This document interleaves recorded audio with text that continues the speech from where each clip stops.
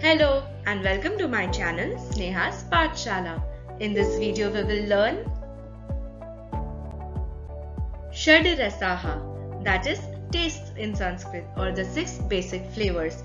You will also see the elements with which each flavor is made up of. So let us begin.